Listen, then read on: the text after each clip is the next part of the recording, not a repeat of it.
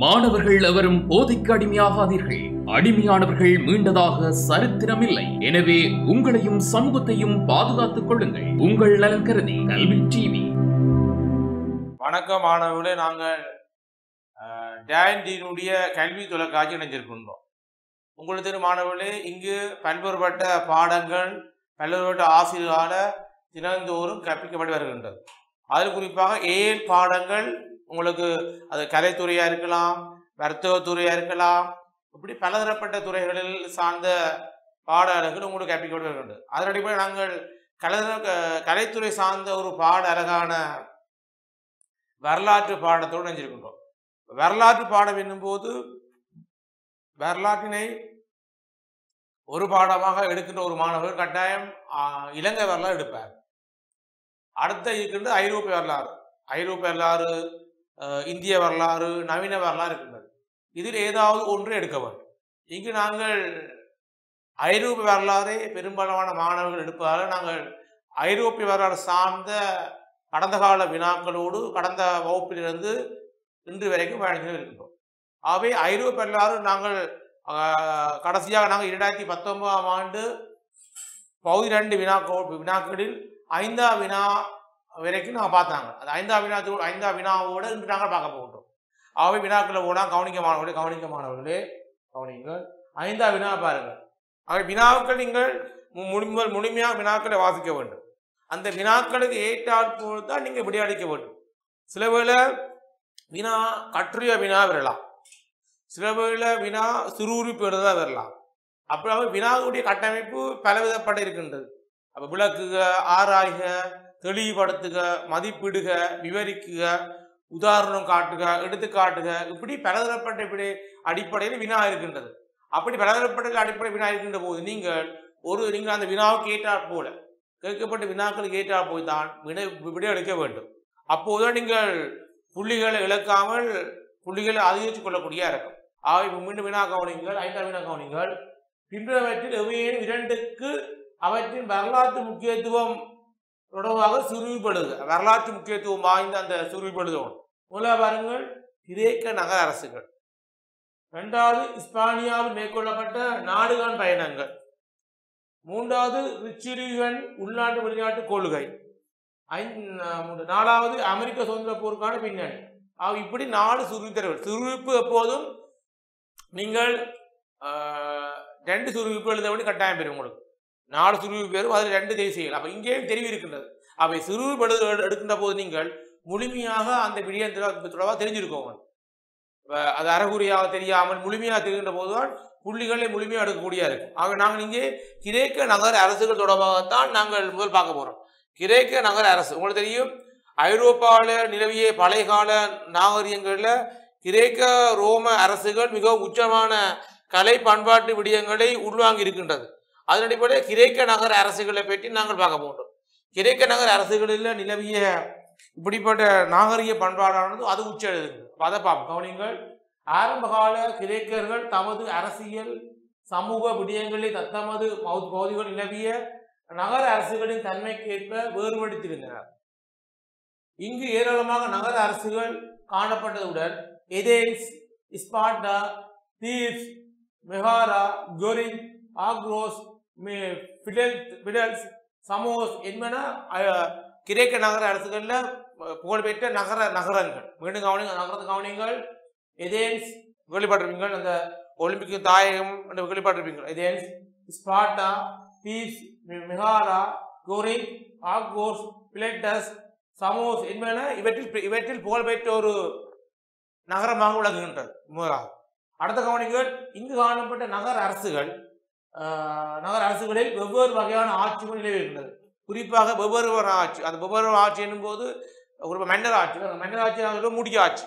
முடிக்குரிய ஆட்சியை சொல்லுவோம் மன்னர் ஆட்சி. பரம்பரை பரம்பரையாக வழித்தோன்றர்கள் அதாவது தந்தை மகன் அப்படி இலங்கை வரலாறு இருக்கிற மாதிரி ஒரு ஒரு போக்கு தான் நாங்கள் ஐரோப்பியாவில் இருந்திருக்கிட்டது மன்னர் ஆட்சி அல்லது முடிய ஆட்சி.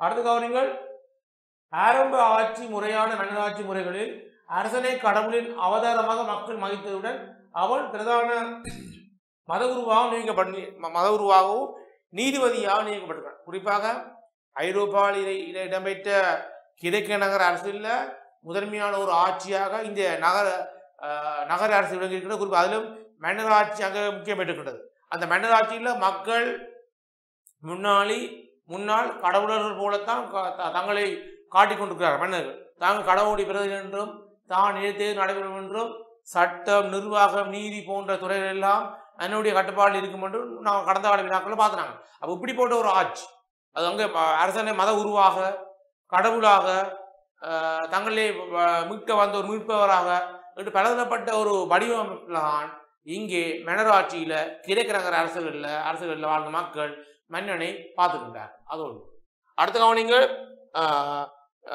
அடுத்த கவனிங்கள் இங்கே பாருங்க மன்னன் நீதிபதியாக மதகுருவாக என்று மன்னன் என்றால் தனியே மன்னராட்சி மட்டுமில்லாமல் நாட்டை நிர்வகிக்கிற பொறுப்பு மட்டுமில்லாமல் நீதிபதியாக மக்களுடைய குறைகளை தீர்ப்பவராக போது மத போதகராக என்று பல பல்வேறுபட்ட ரீதியில் மக்களுக்கு ஒரு பணி செய்ததாக மன்னம் விளங்குகின்றார் அடுத்த ரெண்டாம் ஆட்சி பிறவுக்கள் ஆட்சி. பாருங்க, முடியாட்சியின் வீழ்ச்சியின் பின் இது தோன்றியது. சலுகைகளை பெற்ற செல்வந்தர்களிடம் அரசியல் அதிகாரம் குவிந்திருந்தது. மற்றும் நிர்வாக நடவடிக்கைகளை இப்பிறவுக்களை முன்னின்று மேற்கொண்டார். அதாவது முடியாட்சி அல்ல மன்னராட்சியானது முடிவடையுது. அது முடிவடைந்ததன் பிற்பாடு அங்கு ஏற்பட்ட கிறிஸ்தவ மத செல்வாக்கு காரணமாக அங்கு உருவான பிறவுக்கள் ஆட்சியானது. அவர்கள் பிறவுக்குள் பிறவுக்கள் ஆட்சி என்பது அவர்கள் செல்வந்தர்களாக இருக்கின்றார்கள். செல்வந்தர் இருக்கின்றவாறு அவர்கள் தங்க த- த- தமக்கு சொந்தமான சிறு சிறு நிலப்பரப்பில் பொதுமக்களை கொண்டு மானிய முறையான ஒரு பொருளாதார முறையை முன்னெடுப்பாங்க அப்படி முன்னெடுக்கிற ஒரு அங்கே அரசன் ஒரு கைப்போமையாக தான் இருப்பேன் பிறகு பிறவுக்குள் கட்டுப்பாடு நிறைய நிறைய சிறுது நிலங்கள் இருக்கும்.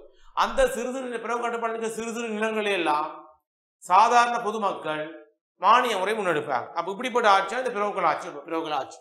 அடுத்த கவனிங்கள் சில்லோர் ஆட்சி. குறிப்பாக சில்லோர் ஆட்சி என்னும்போது செல்வந்தர் சிலர் தமது நலன்களை மேம்படுத்திக் கொள்ளும் வகையில் செல்வந்தர் அல்லது பணக்கார ரகத்தினர் தங்களுடைய நலன்களை மேம்படுத்திக் கொள்ளும் வகையில் மேற்கொண்ட ஆட்சியே சில்லோர் ஆட்சியாகும்.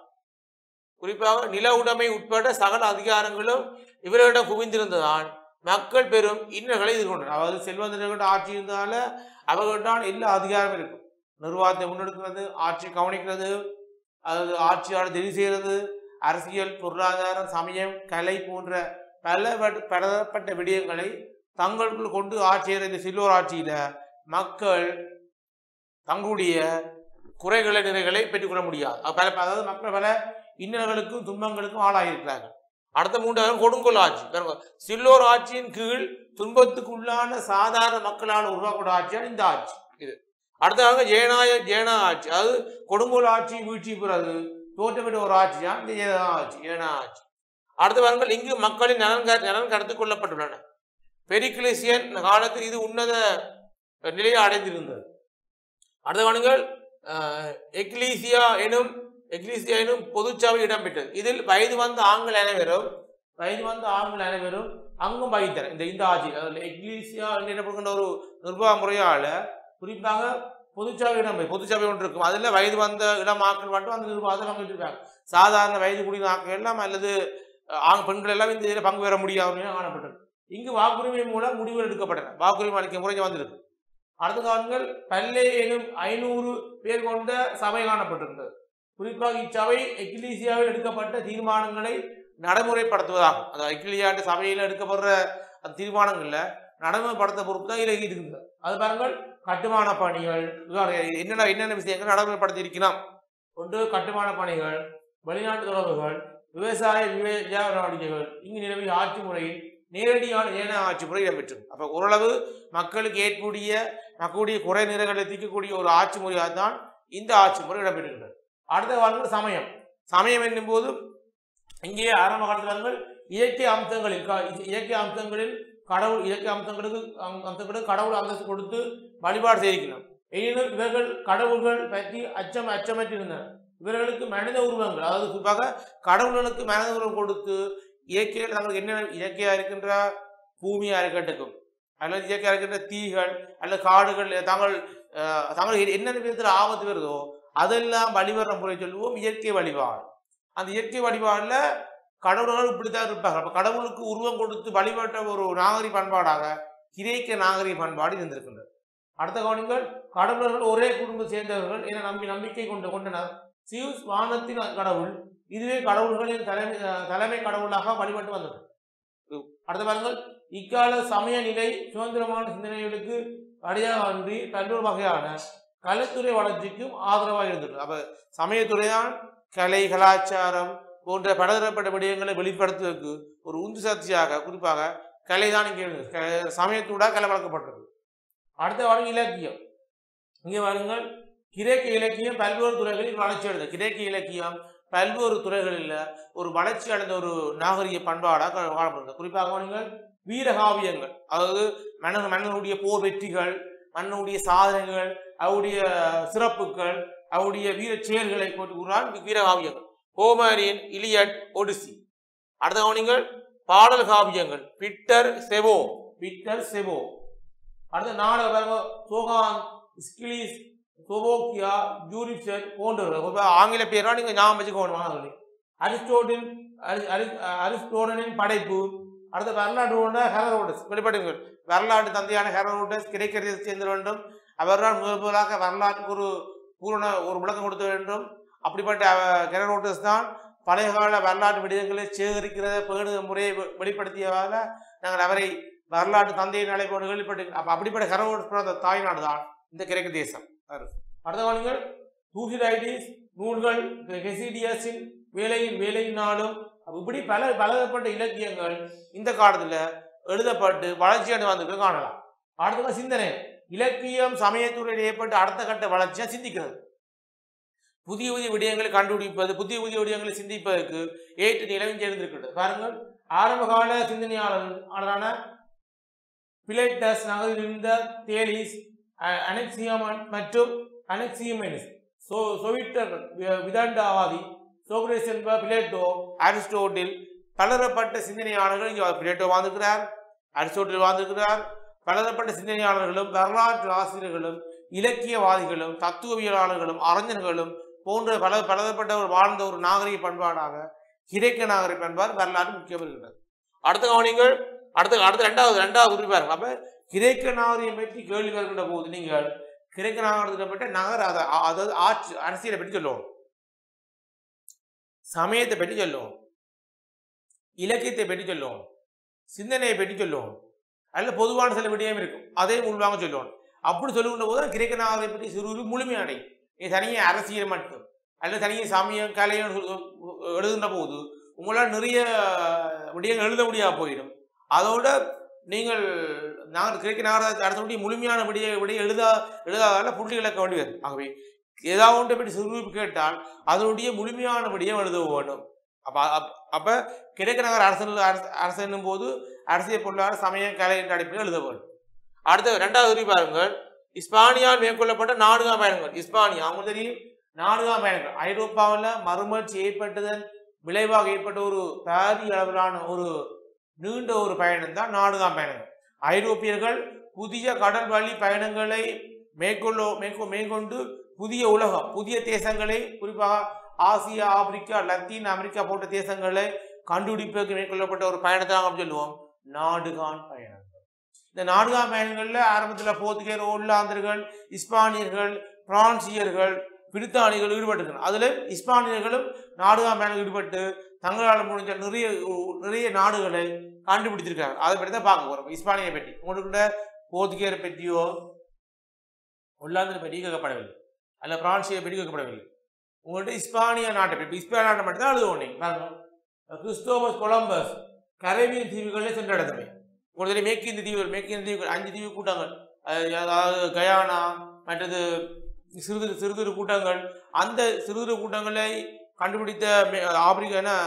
அமெரிக்காவுக்கு அதாவது அமெரிக்க கண்டம் சேர்ந்திருக்கின்ற அந்த மேற்கு தீவுகளை கண்டுபிடித்ததான் கிறிஸ்டோபஸ் கொலம்பஸ் என்று கேள்விப்பட்டிருப்பீங்க. அடுத்த கவனிங்கள் அமெரிக்கா வெஸ்பூசி அமெரிக்கா எனப்படுகின்ற புதிய உலகத்தை கண்டுபிடிச்சார் அப்போ அமெரிக்கான்ற ஒரு ஒரு ஒரு நாட்டை கண்டுபிடிச்சது அமெரிக்கா வெஸ்பூசி ஆனால் அதுக்கு வேறு பேர் வச்சவரால் வேறு அப்ப ஒரு புதிய ஒரு கண்டத்தை கண்டுபிடிச்சிருக்கார் வெஸ்பூசி. அடுத்த பாருங்கள் ஃபேர்டினன் ஃபேர்டினண்ட் மெஹலன். குறிப்பாக ஃபேர்டினன் மெஹலன் தான் உலக உலகத்தை சுற்றி வந்த முதலாவது நாடுகான் பயணியாக குறிப்பிடப்படுகிறார் அப்ப உலகம் பற்றி ஒரு ஒரு விழிப்புணர்வை ஏற்படுத்தியிருக்கிறார். அடுத்த பாருங்கள் ஃபெ- பெர்னாண்டோ கோ- கோடஸ் மெக்சிகோவை சே- மெ- மெக்சிகோவை சென்றடைந்தவை மெக்சிகோ. அடுத்தது பிரான்சிஸ்கோ பிசாரோ பேரு நாட்டை கண்டெடுத்த பேரு நாட்டு. அடுத்தது மகளிரின் கடற்பயணத்தின் பின் இஸ்பானியா பிலிப்பைன்ஸில் தமது அதிகாரத்தை ஏற்படுத்த முயன்றவை அப்ப மகளினுடைய மெகலன் உலகம் பூரா சுத்தி வந்ததால அவரால் தான் இஸ்பானியாவுடைய பல பல- பலதரப்பட்ட விடிய நிலப்பரப்புகளை இஸ்பானியாவோட ஆதிக்கத்தை கொண்டு கொண்டு இருக்கின்றது ஆகவே நாடுகாண பயணங்கள் நிறைய நாடுகள் மேற்கொண்டிருந்தாலும் நாங்கள் இப்போது பார்க்கறது இஸ்பானியர்கள் மேற்கொண்ட நாடுகாண பயணங்கள் மட்டும்தான். அப்படி அதை மட்டும்தான் அழுகும் இங்கே வேற எழுதினா உங்களுக்கு புள்ளிகள் இழக்கப்படாது. தேவையில்லாத நீங்கள் விசை விசை போயிடும். அப்போ நாடுகள் பயணம் போது கவனிங்கள் கிறிஸ்துவ கொலம்பஸ் அமெரிக்கா வெஸ்பூசி பேடியர் மெஹலன் அதோட கொரோடஸ் பிசாரோ இப்படி பலதரப்பட்ட நாடுகள் பயணம் ஈடுபட்டுங்க அடுத்த பாருங்கள் அடுத்த துருவி பாருங்கள் மூன்றாவது துருவி பாருங்கள். ரிச்சலீஸின் உள்நாட்டு வெளிநாட்டு கொள்கை. ரிச்சலீஸின் ரிச்சர்லி அஹ், உள்நாட்டு வெளிநாட்டு கொள்கை. பாருங்க, முதலாவது பாருங்கள். ரிச்சர்லீஸின் உள்நாட்டு வெளிநாட்டு கொள்கை இரண்டு பிரதான நோக்கங்களின் அடிப்படையில் மேற்கொள்ளப்பட்டன அதாவது ரிச்சர்லிஸ் என்பவர் தன்னுடைய கொள்கைகளை ஒன்று உள்நாட்டு ரீதியான ஒரு கொள்கை சர்வதேச ரீதியான ராஜதந்திர அடிப்படையிலான வெளிநாட்டு கொள்கை. ரெண்டு ரெண்டு அடிப்படை இருக்கு. அதே பாருங்க முதலாவது பாருங்கள் பிரான்சிய அரச அரசனின் ஆதிக்கத்துக்கு தடையாக இருந்தவற்றை அகற்றுதல். பிரான்சிய அரசனின் ஆதிக்கத்துக்கு எது தடையா இருக்கோ அதை அகற்றணும் அது ஒரு உள்ளாத கொள்கை.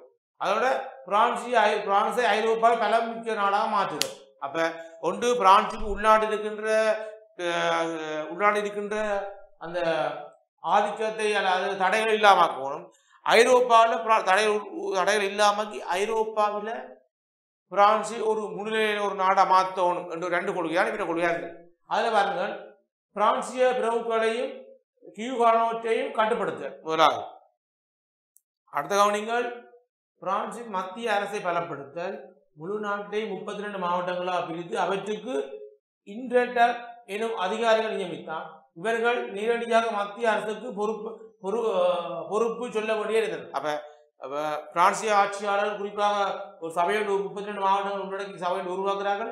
அந்த இவர்கள் நேரடியாக ஒரு பொறுப்பு சொல்ல வேண்டும். தவறு இழைத்தால் அல்லது குற்றம் விளைவித்தால் பொறுப்பு சொல்ல வேண்டிய இருந்துக்கின்றார் அடுத்த கவனிங்கள் ஜெர்மனியின் ஹப்ஸ்போர்ட் வம்ச வம்சத்தினர்கள் அதிகாரத்தை குறைக்க குறைக்க நடவடிக்கை எடுத்தவை. அடுத்த கவனிங்கள் கத்தோலிக்க புரட்டஸ்தாந்து மோதலில் புரட்டஸ்தாந்து மக்களுக்கு ஆதரவளித்து பரிசுத்த உரோம பேரிசின் ஆதிக்கத்தை குறைத்தவர்.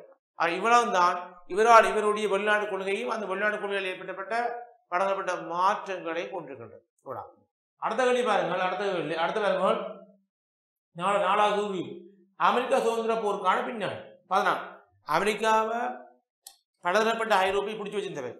போர்த்துகேயர் ஒல்லாந்தர் பிரித்தானியர்கள் இஸ்பானியர்கள். இதிலும்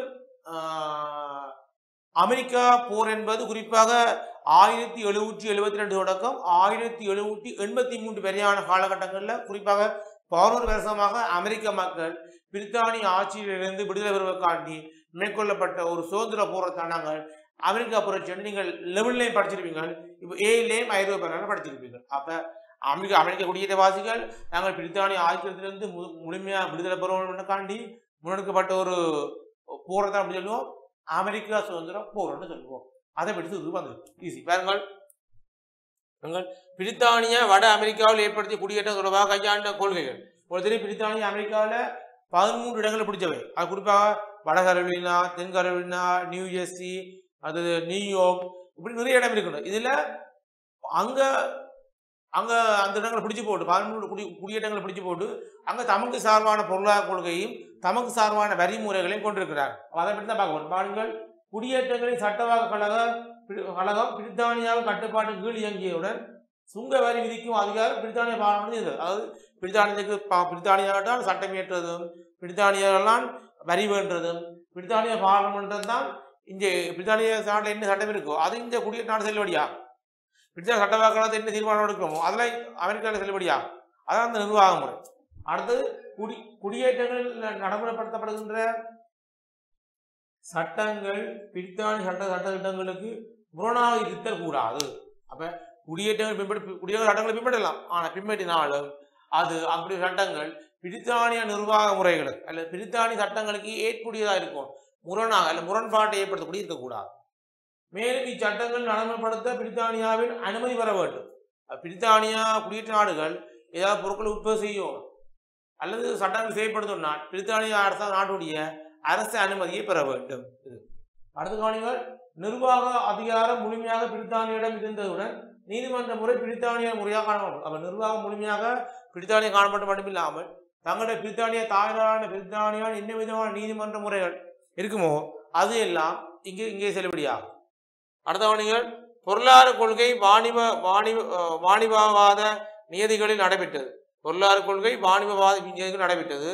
குடியேற்றங்கள் தாய்நாட்டின் நன்மைக்காகவோ நன்மைக்காகவே நிறுவப்பட்டுள்ள கொள்கையின் கீழ் செய்யப்பட்டன பொருளாதார கொள்கை வாணிபவாத நியதிகளில் நடை நடைபெற்றது. குடியேற்றங்கள் தாய்நாட்டின் நன்மைக்காகவே நிறுவப்பட்டுள்ள கொள்கையும் குடியேற்றங்கள் எல்லாம் குடியேற்ற கருத்த பாருங்க. குடியேற்றங்கள் தாய்நாட்டின் நன்மைக்காகவே நிறுவப்பட்டுள்ள என்ற கொள்கையும் கீழ் செய்யப்படுகிறது. அடுத்த பாருங்கள் குறித்த சில பொருட்கள் பிரித்தானிய சந்தைகளுக்கு மாத்திரம் அனுப்ப அனுப்ப வேண்டியிருந்தது. அதாவது வேண்டும் வேண்டும் இருந்தமை தேயிலை புகையிலை சீனி பருத்தி எல்லாம் குடி நாடுகள் உற்பத்தி செய்யலாம். ஆனால் அது பிரித்தானிய நாட்டுக்கு மட்டும்தான் கொடுப்போம். பிறகு பிரித்தானிய நாட்டுக்கு போய் தான் வேறு வேறு நாடுகளுக்கு போவோம் என்ற ஒரு முறை இருந்திருக்கு அடுத்த கவனிங்கள் பிரித்தானியாவிலிருந்து பிரித்தானியாவிலிருந்து அமெரிக்கா கொண்டு வரப்பட்ட பொருட்கள் அமெரிக்காவில் உற்பத்தி செய்வது தடை உற்பத்தி செய்வது தடை செய்யப்பட்டிருக்கு அதாவது பிரித்தானியாண்டு ஒரு கொண்டு வரலாம். கொண்டு வந்தால் அந்த பொருட்களை அமெரிக்க மக்கள் உற்பத்தி செய்ய- அமெரிக்க குடியேற்ற வாசிகள் உற்பத்தி செய்ய முடியாது. உதாரணத்துக்கு பாருங்கள் கம்பளி உதாரணத்துக்கு கம்பளி ஆடைகள் கம்பளி ஆடைகள்.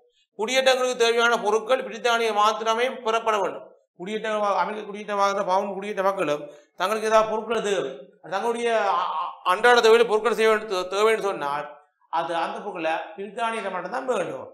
வேறு எந்த ஒரு ஆயிரப்பையும் வேண்ட முடியாது. இது அடுத்து கவனிங்கள் குடியேற்றங்களின் பொருட்களை கொண்டு செல்லவும் குடியேற்றங்களில் பொருட்களை எடுத்து வரவும் பிரித்தானிய கப்பல் மாத்திரமே பயன்படுத்த வேண்டும் பாத்தீங்களா? குடியேற்றங்களில் பொருட்களை கொண்டு செல்லவும் பிடித்து பரிமாறவும் அது விற்பனை செய்யவும் குடியேற்றங்கள் கப்பலை தான் அவன் குடியேற்ற வாசி பயன்படுத்த வேண்டும் அப்போ தான் மரியாதை விடலாம். அப்படிதான் அப்போ அப்போ எவ்வளவு விதமான பொருளாதார கொள்கைகளை அமெரிக்க குடியேற்ற வாசிகள் மீது பிரித்தானி முன்வைக்கிறார் இது.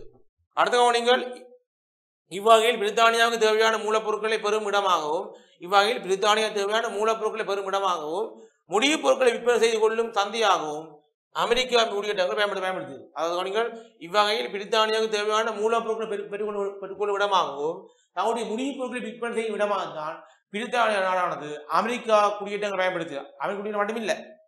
பிரித்தானியா அந்த காலத்தில் பிடிச்சி வச்சிருந்த ஆசியா ஆப்பிரிக்கா லத்தீன் ஆப்பிரிக்கா நாடுகள்ல எல்லாம் அவன் நோக்கம் என்ன நடந்தது? லாபம் பெறணும் தங்களோட மதத்தை பெறப்போகணும் அது குறிப்பாக தங்களோட மூலப்பொருட்களை பெற்றுக்கொள்ளணும் உப்பு செய்த முடிவு பொருட்களை விற்பனை செய்யணும் ஒரு சந்தையோட வேணும். அதுக்கான தான் அதை பயன்படுத்தியிருக்கிறார் அடுத்த கவனங்கள் போராட்டம் வலுப்பெற்றவங்க காரணங்கள் ஏன் இந்த போராட்டம் இடம்பெற்றது? குறிப்பாக அமெரிக்க மக்கள் பிரித்தானிய குடியேற்ற குடியே பிரித்தானியுடைய நா- கட்டுப்பாட்டிலிருந்து விடுதலை பெறுவோம் என்ற காட்சி போராட்டம் அதுக்கான காரணம் தான் பார்க்க போறோம். கவனிங்கள் குடியேற்றங்கள் குடியேற்றங்கள் குடியேற்றங்களுக்கு தாய்நாட்டின் பாதுகாப்பு தொடர்ந்தும் தேவைப்பட்டது. ஆயிரத்தி தொள்ளாயிரத்தி அறுபத்தஞ்சு ஆயிரத்தி தொள்ளாயிரத்தி அறுபத்தி மூன்று வரையான வரையான ஏழு வருட போரில் பிரான் தோற்கடிக்கப்பட்டது. உங்களுக்கு தெரியும்? இறுதியாக பிரித்தானியர்கள் அமெரிக்கா கைப்பற்றிய முதல் இறுதியாக அமெரிக்கா பிடிச்சு வச்சிருந்த ஐரோப்பியர்கள் பிரான்சியர். அவை அப்படி பிரான்சியர் அமெரிக்கா அமெரிக்கா பிடிச்சு வச்சிருந்து கொடூர ஆட்சியும் மேலதிகமாக நிறைய இடங்களை பிடிக்க முற்படும் முற்பட்ட போது தான் பிரித்தானிய படையெடுத்து வராங்க. பிரித்தானிய படையெடுத்து வரும்போது அமெரிக்க குடியேற்ற வாசிகள் வாசி வா- வாசிகளுக்கு பிரித்தானிய சப்போர்ட் கிடைச்சிட்டு கிடைச்சதால பிரித்தானிய ஆதரவு பிரித்தானியர்கள் அமெரிக்க குடியேற்ற வாசிகளுடைய ஆதரவோட பிரான்சியர் வெளியேற்றினாங்க. அஹ் பிரான்சியரோட ஏழு வருஷமா. குறிப்பா ஆயிரத்தி எழுநூற்றி ஐம்பத்தி மூணு தொடக்கம் ஆயிரத்தி எழுநூற்றி அறுபத்தி மூணு வரை அறுபத்தி மூணு வரையான ஏழு வருஷம் யுத்தம் இடம்பெறும் அந்த ஏழு வருஷ யுத்த யுத்தத்துல பாய்ப்படைந்த பிரித்த அதாவது சொத்தடி உயிரோடி ஏற்பட்ட பிரித்தானியா நட்டகெடுக்காண்டு தான் நிறைய வரி ஆரம்பிக்கணும் கெபல் வரி கெபிடேஷன் வரி நிறைய த- வரியெல்லாம் ஆரம்பிக்கணும் இந்த வரியை தாங்கிக் கொள்ள முடியாத அமெரிக்க மக்கள்லாம் புரட்சியில் ஈடுபடுங்க பாருங்கள் அடுத்த செல்வ செல்விந்தியர்களின் அச்சுறுத்தல்கள் அச்சு அச்சுறுத்தல்களும் குறைந்தவை. அடுத்தது இங்கிலாந்து ஏழாண்டு போ இங்கிலாந்து ஏழாண்டு போர் செலவுகளை குடியேற்ற மக்களிடம் பெறுவதற்காக புதிய வரிகளை விதித்த வரிகளும் டவுன் செட் சட்டம்னு சொல்லுவோம். பாருங்கள் கண்ணாடி முத்திரை தேயிலை போன்ற பொருட்களுக்கான. அடுத்த கவனிங்கள் குடியேற்ற மக்கள் இதற்கு எதிராக மேற்கொண்ட போராட்டத்தால் தேயிலை வரி தவிர்ந்த ஏனி அனைத்தும் வரி வரிணிக்கப்பட்டன குடியேற்றவாதிகள் போராட்டம் மேற்கொண்டபடி எதிரொலிதான். தேயிலை வரி உட்பட சில பொருட்களுக்கான வரியையும் நீக்கியிருக்கிறார் அடுத்த கவனிங்கள் இதில் தை இதில் தைரியம் அடைந்த மக்கள் பொஸ்டன் துறைமுகத்தில் இருந்த தேயிலை கப்பலுக்குள் பூந்து தேயிலை பொட்டிகளை கடலில் போட்டு அழித்தனர். இதை சொல்லுவோம் பொஸ்டன் தேனி விருந்து. அதாவது இந்த போருக்கான உடனடி மற்றும் அடிப்படை காரணம். அதாவது பொஸ்டன் அமெரிக்காவில் இருக்கின்ற புகழ்பெற்ற பொஸ்டன் துறைமுகத்தில் தடுத்திருந்த தேயிலை பொட்டிகள் கூடிய கப்பல்கள் கப்பலில் இருக்கும் தேயிலை பொட்டிகளை கப்பலில் இருந்த தேயிலை பொட்டிகளை அமெரிக்க குடியிருவாசிகள் எடுத்து கடலில் வீசுகிறார்கள். இதால் உருவாகினார் இந்த அமெரிக்க சுதந்திர போர் பாருங்கள் ஆயிரத்தி எழுநூற்றி எழுபத்தஞ்சில் மோதல் ஏற்பட்டது. ஆயிரத்தி எழுநூற்றி எழுபத்தி ஆறில் அமெரிக்க சுதந்திர பிரகடனத்தை வெளியிட்டார் ஆயிரத்தி எழுநூ ஆயிரத்தி எழுநூற்றி எழுபத்தஞ்சு மோதல் ஏற்படுது ஆயிரத்தி எழுநூற்றி எழுபத்தாறு அமெரிக்க சுதந்திர பிரகடனத்தை வெளியிட்டமை பிறகு ஆயிரத்தி எழுநூற்றி எண்பத்தி மூன்றில் இங்கிலாந்து தோற்கடித்தமை சுதந்திரத்தை பெற்றுக் கொண்டமை தான் அமெரிக்க சுதந்திர போருக்கான ஒரு பெரிய விஷயம். நாங்கள் சுரூப்பாக இருக்கிறபடியால் நாங்கள் சுருக்கி சுறுவிப்பு ஏற்ற மாதிரி எல்லா விடயங்களும் உள்ளடக்கி எடுத்துக்கணும். குறிப்பாக ஏன் அமெரிக்கா இப்படித்தான் கைப்பற்றினார்கள் எந்த- எந்த இடங்களை பிடிச்சார்கள்? பிடிச்சி போட்டு எப்படி எப்படி அப்படிப்பட்ட பொருளாதார கொள்கையை பின்பற்றினார்கள்? என்ன பெரிய அறவுறார்கள் அப்படி செய்தால் ஏன் அமெரிக்கா அப்படி செய்தால் அமெரிக்கா வாழ் குடியேற்றவாதிகள் என்ன காரணத்துக்காக போராட்டம் செய்கிறார்கள்? பிற போராட்டம் எப்படி வெற்றி அடையுது? பிறகு போராட்டத்தின் விளைவு. இப்படி பலதரப்பட்ட விடயங்கள் உள்ளடக்கி தான் இந்த சுதந்திர அமையும். இப்படி அமையும். தனியே காரணங்கள் அல்லது பிரித்தானிய அமெரிக்காவை பற்றிய பொருளாதார கொள்கைகள் அல்ல அரசியல் கொள்கைகள் நிர்வாக முறைகள் பற்றி எழுதினால் முழுமை அடையாது. ஒரு சுருவிப்பு கேட்டால் நீங்கள் அனைத்தையும் தொகுத்து எழுதணும். அதான் முக்கியம். எல்லா விடயங்களும் தொகுத்து தான் சுருவிப்பு எழுத வேண்டிய ஒழிய தனியாக ஒரு குறிப்பிட்ட விடயத்தை மட்டும் மேம்படுத்தி கூறினால் நீங்கள் புள்ளி இழப்பீங்க அப்போ உங்களுக்கு இப்போ சிறந்த ஒரு விவரா அடுத்த அடுத்த கேள்வி பாருங்க. அடுத்த சி பாருங்க. சி கேள்வி. இவ்வளோ பார்த்தாங்க பி கேள்வி. சீக்கியொலி பார்க்க சீக்கியொலி பார்க்க மாணவர்களே. அவன் பி இவ்வளோ இவ்வளவு இப்படியான கட்டமைப்போடு அமைஞ்சிருக்கிறது இப்போ சீக்கியொலி பாருங்கள் சீக்கியொலி சீக்கியொலி பாருங்கள். சி சி இப்போ சீம் அப்படி தான் பாருங்க. சீல பாருங்க அதில் சியிலேருந்து உரிமையாக எடுக்கணும் போகணும். கேள்வி பாருங்கள் பாருங்கள். பகுதி சி சி பாருங்கள். வியட்நாம் மாநாடு மேற்கொண்ட வியட்நாம் மா- மாநாடு மேற்கொண்டு பிரதான தீர்மானம் விவரிக்க கொண்டு அடுத்தது நவீன ஐரோப்பிய வரலாற்றில் வியன்னா ஒப்பந்தம் எந்த அளவுக்கு ஒரு திருப்புணியாக கருதப்பட்டவை கருதப்படவை என்பதிலே பேசிட்டு அப்ப முதல்வர்கள் வியட்நாம் மாநாடு மேற்கொண்டு வியட்நாம் மா- மாநாடு மேற்கொண்டு பிரதான தீர்மானம் விவரிக்கணும் விய- வியட்நாம் மாநாடு பெட்டி விவரிக்கணும் உண்டு. அடுத்தது நவீன ஐரோப்பிய வரலாறு நவீன ஐரோப்பிய வரலாற்றில் வியட்னா ஒப்பந்தம் எந்த அளவுக்கு வியட்னா ஒப்பந்தம் எந்த அளவுக்கு திருப்பு முனியாக அமைந்தது? எந்த அளவுக்கு திருப்பு முனியாக அமைந்ததை பற்றி எழுதுவோம். எந்த அளவுக்கு திருப்பு முனியாக அமைந்தது பற்றி எழுதுவோம். அப்போ பாருங்கள் வியட்நாம் மாநாடு பற்றி பார்ப்போம். பாருங்கள் வியட்நாம் மாநாடு வியட்நாம் மாநாடு வியட்நாம் மாநாடு வியட்நாம் மாநாடு ஆறாவது? வியட்நாம் மாநாடு. மாநாடு வியட்நாம் மாநாடு. இந்த வியட்நாம் மாநாடு ஐரோப்பாவில் இடம்பெற்ற ஒரு முக்கியமான ஒரு மாநாடாக மாநாடு வியட்நாம் மாநாடு. அதனால் பிரான்சில் தேச எல்லைகளை ஆயிரத்தி எழுநூற்றி எண்பத்தி ஒன்பதுக்கு முன்னர் இருந்த நிலைக்கு மாற்றி அமைத்தல் புஃபன் அரசு வம்சத்தை மீண்டும் ஆட்சியில் அமர்த்துதல். இதான் இந்த மாநாடு. வேண்டும் கவனிங்கள் பிரான்சின் தேச எல்லைகளை ஆயிரத்தி எழுநூற்றி எண்பத்தி ஒன்பதுக்கு முன்னர் இருந்த நிலைமைக்கு மாற்றி அமைத்தல் பூர்பன் அரசாங்கத்தை மீண்டும் பூர்பன் அரசாங்கத்தை மீண்டும் ஆட்சிக்கு அமர்த்தி. முதல் பிரான்சில் ஆரம்பத்தில் இருந்த ஆட்சி முறை பூர்பன் வம்சம். அந்த பதினாலு நூற்றி பதினாறு நூற்றி பன்னெண்டு அந்த ஆட்சி மீண்டும் கொண்டு வரணும். ஏழுமணி நிலவிய முன்னூற்றி அறுபது அரசுகளை முப்பத்தி ஒன்பது அரசுகளாக துரு சுருக்கி ஏழ்மன் கூட்டமைப்பை ஏற்படுத்தி அதன் தலைமையை தலைமையை தலைமையை ஆசிரியாக வழங்குகிறார் என்ற அடிப்படை அமைகிறது ஆகவே வியட்நாம் மாநாடு ஐரோப்பா நடைபெற்ற ஒரு முக்கியமான மாநாடு. இந்த மாநாடு பற்றியும் இதற்கான அடுத்த அடுத்த விடைகளை பற்றி நாங்கள் மாணவர்களை கடந்த வகுப்பில் பா கடந்த வகுப்பில் இன்றைய வகுப்பில் பார்த்தது போல அடுத்த வகுப்பு தொடர்ச்சியாக பார்க்க போகிற மாணவர்களை அவர் தொடர்ச்சியாக இங்கே டேன் டிவியுடைய கல்வி தொலைக்காட்சியை பார்ப்பதுடன் தான் இப்படிப்பட்ட நிறைய விடயங்களை கற்றுக்கொள்ளலாம். ஆகவே மாணவர்களே நன்றி வணக்கம் மாணவர்களே. கல்வி டிவியில் புத்தம்புது நிகழ்ச்சிகளை உடனுக்குடன் பார்த்து மகிழ. எமது ஃபேஸ்புக் மற்றும் யூடியூப் பக்கத்தை லைக் செய்யுங்கள்.